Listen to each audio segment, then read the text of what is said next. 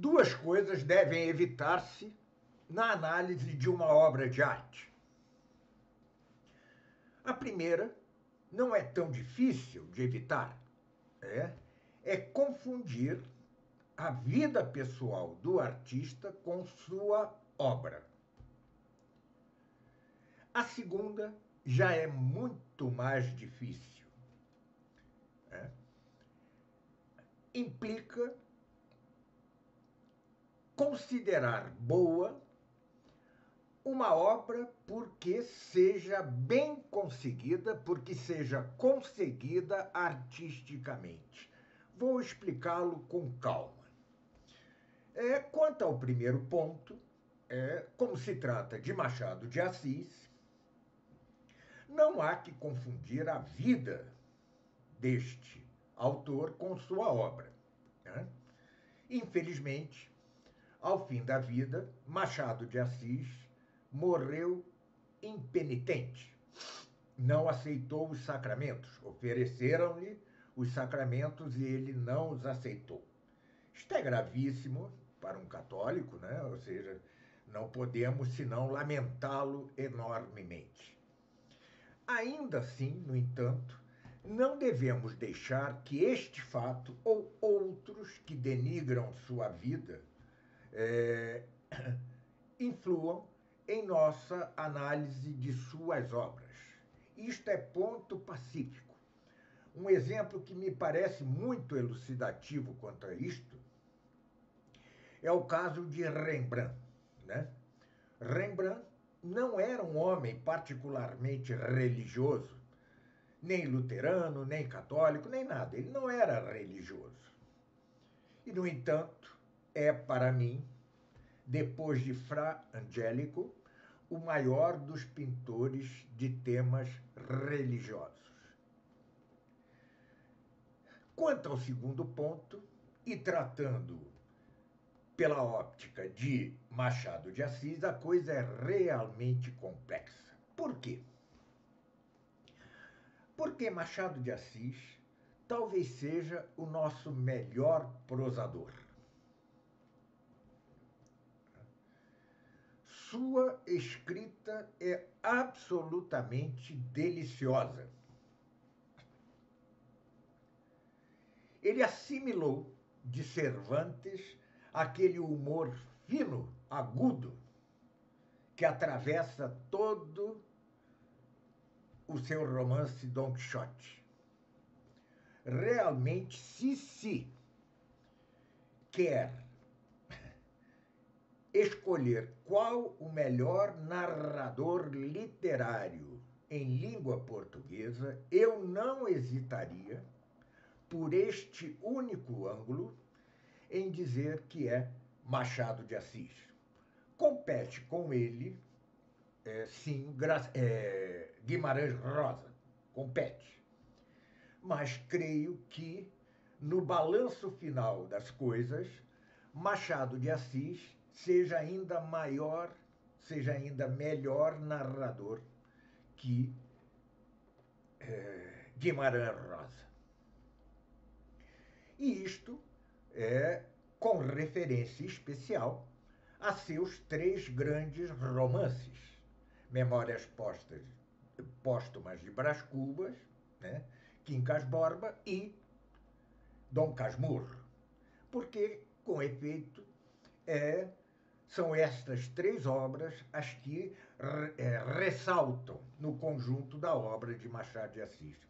Ele tem um que outro conto maravilhoso, né? Tem um, aliás, muito católico, muito cristão, né? É, não sei se está entre os contos fluminenses, mas é um conto fantástico. Ele estava dentro de uma missa, é, a personagem central, né? É, você estava dentro de uma missa e, de repente, se deixou levar pela, pelo cheiro do incenso, não me recordo se pelo som do cantochão, do canto gregoriano, e e de repente, né, ele, em suas dúvidas religiosas, lhe aparece Cristo mesmo, né, e é, faz para ele o sermão das bem-aventuranças, como se estivesse na montanha, o sermão da montanha. Faz particularmente a Machado de Assis. É um conto fabuloso, né? Já o li há muito tempo, mas ficou marcado indelevelmente em minha memória. É. Ali, é, realmente, Machado de Assis se alça um plano impressionante. Mas, do ângulo artístico, exclusivamente artístico, né? sem dúvida, suas três grandes obras são, estes, são estes romances que citei. Né? Então, pelo ângulo exclusivamente, digamos, técnico, né? É, Machado de Assis é excelente, e particularmente estas três obras grandes, maiores de sua, de, de sua obra geral. Pois bem,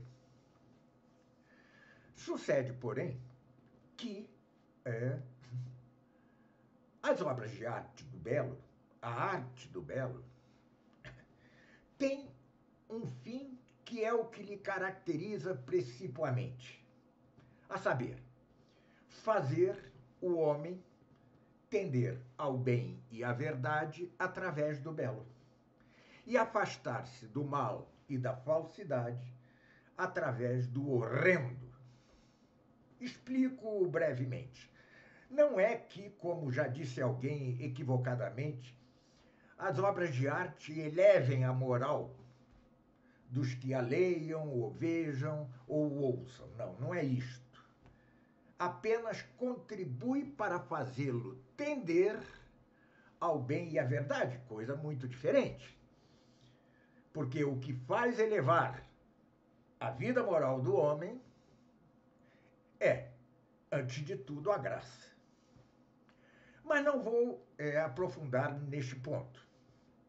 Quero apenas deixar consignado que as obras da arte do belo não elevam o homem moralmente, apenas contribuem para fazê-lo tender ao bem e à verdade. Sendo este o, o fim da arte do belo, então, uma obra de arte tem de avaliar-se segundo, sobretudo, este critério, não só é preciso conjugar os dois critérios principais para que uma obra de arte seja considerada boa.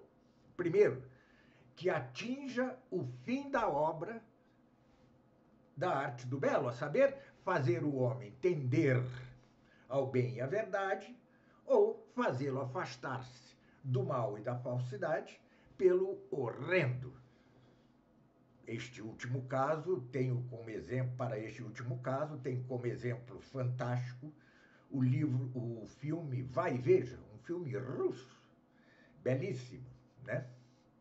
Ou então a pintura de Rubens, é, A Queda das Almas no Inferno.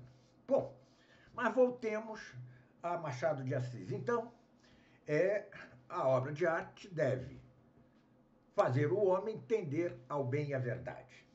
Este é o fim da obra de arte. Mas, para fazê-lo, com certeza, para fazê-lo eficientemente, é preciso que seja conseguida, ou seja, que seja boa artisticamente, que seja boa tecnicamente e que proceda aquilo que embora Aristóteles tenha referido apenas a tragédia grega, vale para toda obra de arte, ou seja, a catarse. O que é a catarse?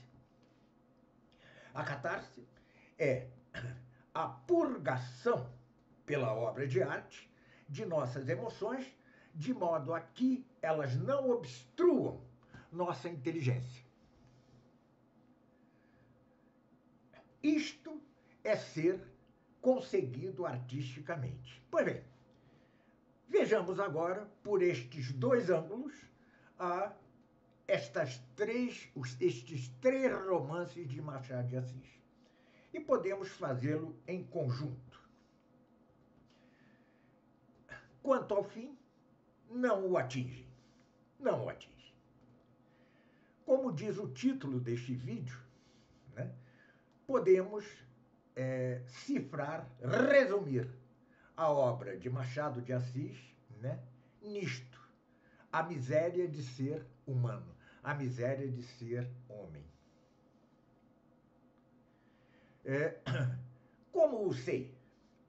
Dou apenas dois exemplos marcantes de dois finais de duas, dois destes romances que trato aqui. O primeiro é Quincas Borba. Ele termina é, dizendo algo assim. Eu já o li há muito tempo. É, as estrelas não têm tempo para ocupar-se de nossa miséria. Muito parecido, aliás, a uma frase dita é, no filme Ran, do, é, do então nihilista é, Akira Kurosawa. Pois bem, é, e a outra ainda mais marcante, porque daninha, é aparece ao final das memórias póstumas de Brás Cubas. Nesse romance, o personagem principal, o protagonista, narra sua vida já morto. Então, memórias póstumas. É, e lá para o final, diz ele, pergunta-se ele, ganhei ou perdi da vida? Depois de umas considerações, conclui, ganhei, porque não leguei a ninguém a miséria de nossa existência. É algo assim.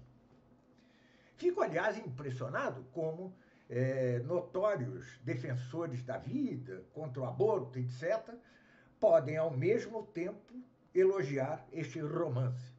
Porque o que ele apresenta é que nascer é uma miséria.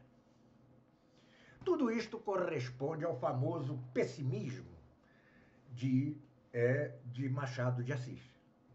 Ele era um Schopenhaueriano. Se o fosse só em sua vida privada, era uma coisa, mas é, deixa que sua obra se impregne desse pessimismo de Schopenhauer. Então, como não atinge seu fim, como não atinge o fim próprio, princípio da arte do belo, não pode considerar-se pura e simplesmente boa a obra de Machado de Assis. Mas, artisticamente, tecnicamente, é fabulosa. E é fabulosa exatamente para ser isto mesmo que ela é, pessimista. Portanto, estamos com algo análogo ao que é o ouropel. O que é o ouropel? É o falso ouro. Ele brilha como ouro, mas não é ouro.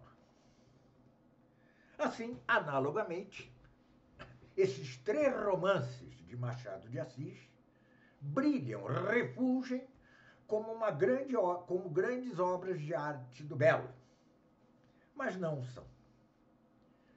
É, repito que Machado de Assis é realmente, talvez, nosso maior narrador. Mas não posso, sob pena de autocontradição e de negar né, é, o caráter mesmo da, da arte do belo, não posso dizê-los bons a estes romances. Né? Tem claro, é, quem os leu, e eu os li na juventude, é, quem os leu ficará marcado para sempre com a qualidade artística dessa narrativa brilhante, de fulcro é, cervantesco, né? mas é uma reflexão madura, não tão difícil, destas mesmas três obras nos leva a concluir isto: que não atingem o fim, princípio próprio da arte do belo. Né? E é preciso considerar sempre assim toda e qualquer obra. Né? Não se deixando levar pelo brilho do ouropel, né? mas tampouco confundindo a vida pessoal de seu autor com sua obra.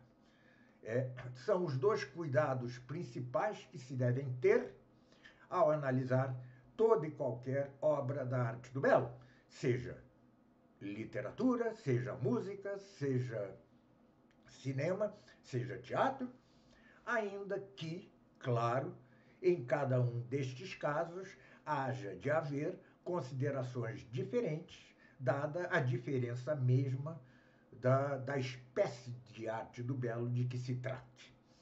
Pois bem, muito obrigado e até nosso próximo vídeo.